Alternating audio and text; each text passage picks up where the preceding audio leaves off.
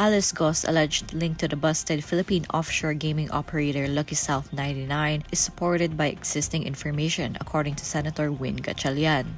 But Gatchalian refused to disclose more details on the supposed relationship of the suspended Bamban mayor to the Pampanga based Pogo because investigations on the matter are still ongoing.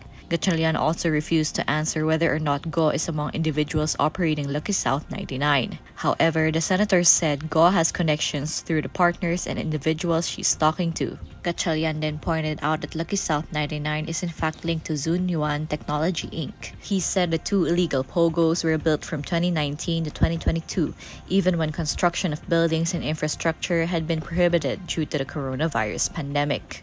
Guo has been a subject of scrutiny after the Senate Committee on Women bared her alleged ties to Zun Yuan Technology Inc., an illegal offshore gaming operator in Bamban, Tarlac.